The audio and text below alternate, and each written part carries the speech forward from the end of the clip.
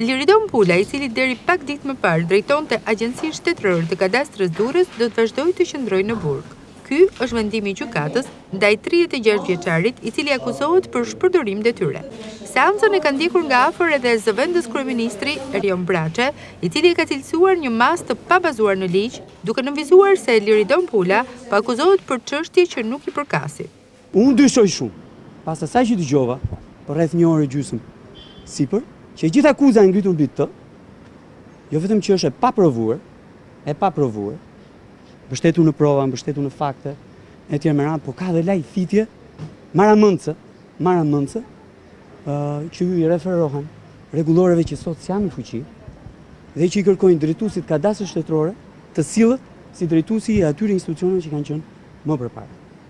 Drejtori i Kadastrës së Durrësit, Liridon Pula, është arrestuar tre ditë më parë me vendim gjykate, pasi organi i akuzës ka vlerësuar se ka shpërdoruar detyrën. Një akuzë e paargumentuar, e ngritur nga një prokuror që përdoret nga krimi i organizuar, ka thënë më herët kryeministri i vendit, Edi Rama.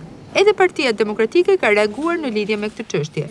Drejtuesi i korruptuar i Kadastrës në Durrës, që është arrestuar me vendim gjykate është kushëriri dhe i emëruari i Erion Braçes, i cili ka vënë qeverinë në funksion të hallit të tij dhe për të mbrojtur një zyrtar të akuzuar për korrupsion, ka deklaruar Enkelejd Alibeaj.